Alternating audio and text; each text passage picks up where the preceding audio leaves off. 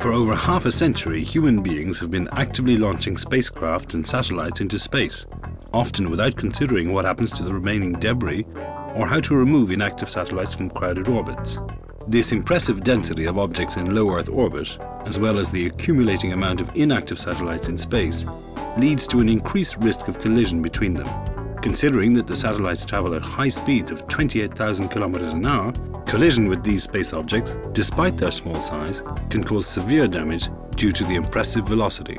Two objects, when they collide in space with very high velocities, can create a lot of more debris and these uh, pieces of debris become like bullets flying around in space, which can eventually hit anything that is flying in near space. While the general public may have heard of the issue of space debris only recently, the threat of collisions has already led the International Space Station to change its orbit twice in order to avoid debris.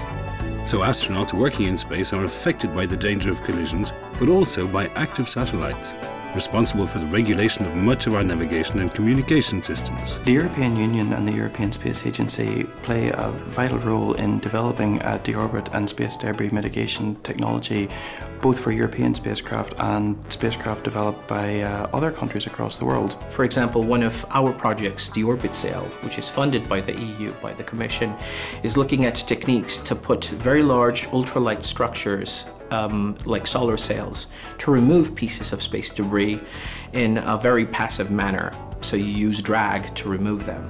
However, Europe has a number of leading technologies and institutions which can bring strong capabilities together and it could possibly take the lead in this area. It is in one sense an opportunity for Europe. If we can develop a deorbit technology which we can sell to other countries, then it is a bonus for European industry. The European Commission is committed to the funding of research projects aimed at the monitoring, mitigation and removal of space debris to ensure our way of life and also to ensure that those humans working in space are protected from such a real threat.